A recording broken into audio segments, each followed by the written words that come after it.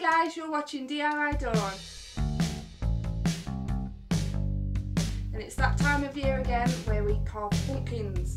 Yay! I've already helped Leah get the top of hers off so she can start scraping things out of her pumpkin.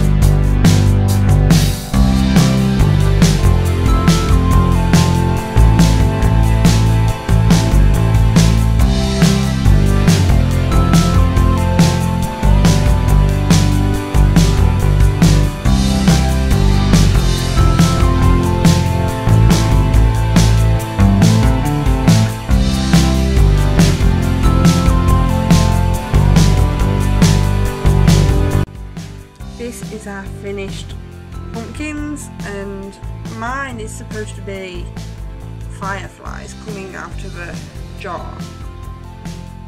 But I'm a bit disappointed with how it turned out. But Leah's looks amazing. It's supposed to be a Hello Kitty cat which did practically everything all on her own. I'm well impressed with her.